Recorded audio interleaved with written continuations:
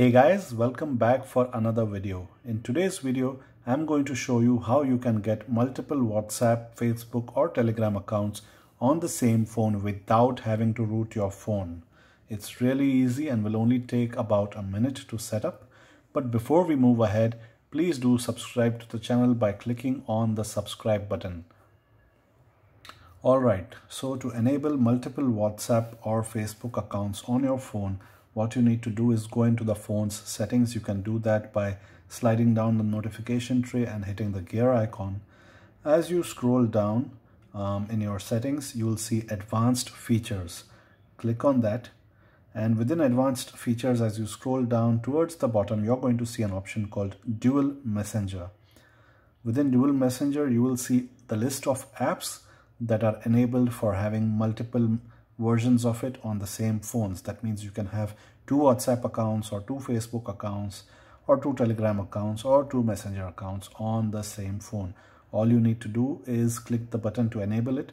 I already have it enabled for WhatsApp, Facebook and Telegram. So I'm going to do it for Messenger. When you click that, it asks you if you want to install a second copy of Messenger.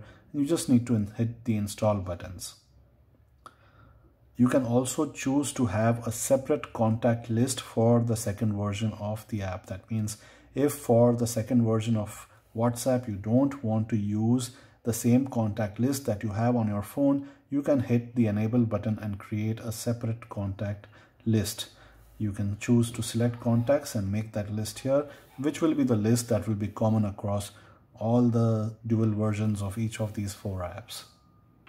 Now once you've done that, when you go back to your home screen, at the end of the home screen, you will see the newly installed app with a dual marker at the bottom right. As you can see, I already have it for WhatsApp, Facebook and Telegram.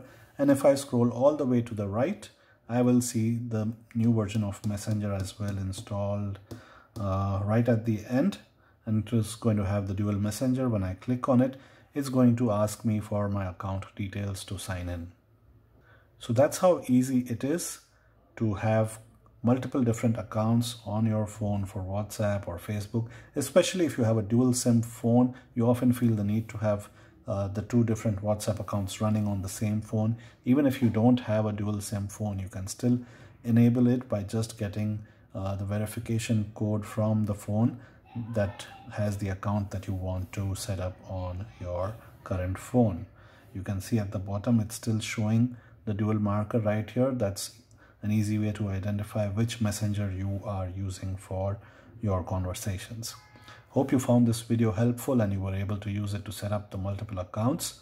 And do subscribe to the channel and thank you for watching